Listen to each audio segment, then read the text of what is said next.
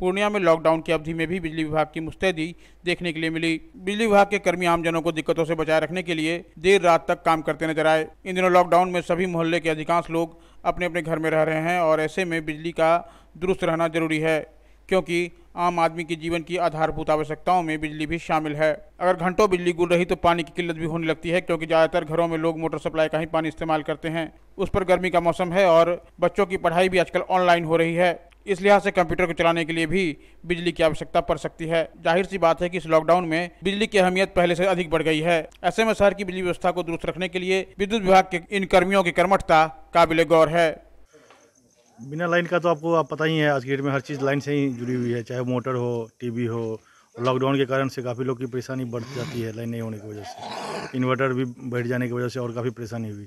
बिजली विभाग तो अपने तरफ़ से हंड्रेड परसेंट दिए हैं क्योंकि ये लोग से मेरी बात हुई थी बिजली विभाग के लोगों से। तो बीच में बारिश की वजह से तीन चार घंटा डिस्टर्ब रहा जिस कारण से इतनी देर हुई है। पूर्ण रूप में हम पूरा मेहनत किए हैं बिजली विभाग। हंड्रेड परसेंट किए हैं। नहीं करते तो अभी रात में भी दस बजे ये लोग आके अपना काम कर रहे हैं।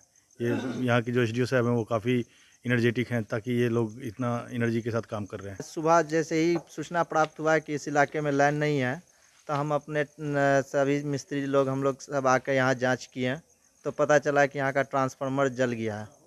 तो उस टाइम से ही हम लोग कंटिन्यू लगे हुए हैं और अभी रात तक काम चालू है और आज नया ट्रांसफार्मर लगा है यहाँ जैसा कि आप देख रहे हैं।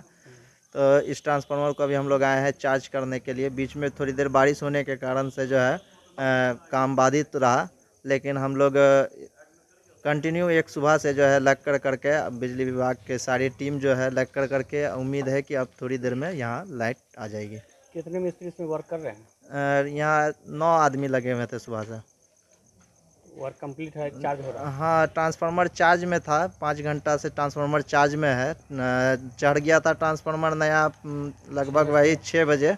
नियम नियम के अनुसार जो है अभी जो है ट्रांसफार्मर चार्ज में है अब थोड़ी देर में ही लाइट मिल जाएगी। दस बजे तक लाइट मिल जाएगी। लॉकडाउन रहने के बाद भी जो है हमारे सारे मिस्त्री का हम, जो है सहयोग मिला है। सभी भाई हम मिलकर कर करके आज इस लॉकडाउन में भी जो है अपने लाइन को सही ढंग से चलाए हुए हैं और आगे भी चलाने का उम्मीद रखते हैं। क्या कहेंगे? जो मिस्त्री लगातार आपको लॉकडाउन में सहयोग कर रहे हैं उनको उनके लिए कुछ कह सकते हैं आप? मिस्त्री पर ही लाइन चल रही है अभी। क्योंकि जितने भी हमारे फ़ील्ड के जितने भी मिस्त्री हैं, वो सारे मिस्त्री का ही योगदान है जो अभी लाइट चल रही है। हमारे जो वरीय पदाधिकारी है, उनका गाइडलाइंस है।